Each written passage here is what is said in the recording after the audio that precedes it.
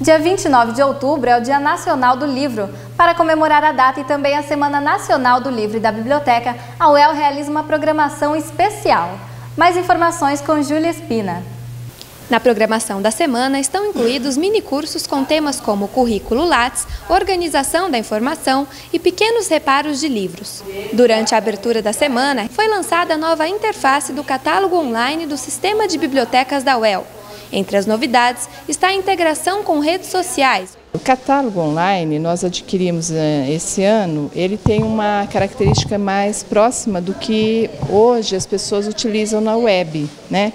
Muito próximo do Google, muito próximo de outras bases de dados, né? Então é muito mais fácil a consulta, a visualização e principalmente ele contém é, ferramentas de redes sociais. Hoje o usuário vai poder ao consultar um livro, um catálogo, indicar esse livro para um colega ou professor para o seu aluno.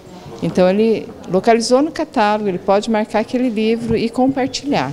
Também ele pode é, assinar uma ferramenta RSS para se manter informado a respeito de novos títulos adquiridos no catálogo, etc. Parte das atividades está sendo realizada aqui na Biblioteca Central.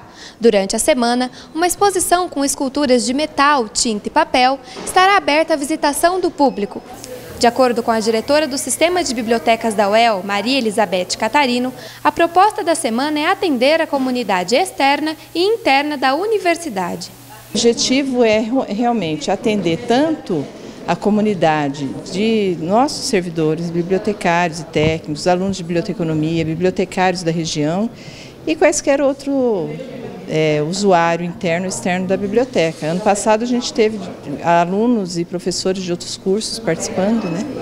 Então o objetivo é esse, é comemorar mesmo a Semana Nacional da Biblioteca e, e aproveitar a oportunidade para capacitação e dos, dos usuários e servidores.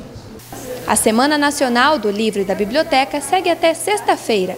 A programação é aberta ao público.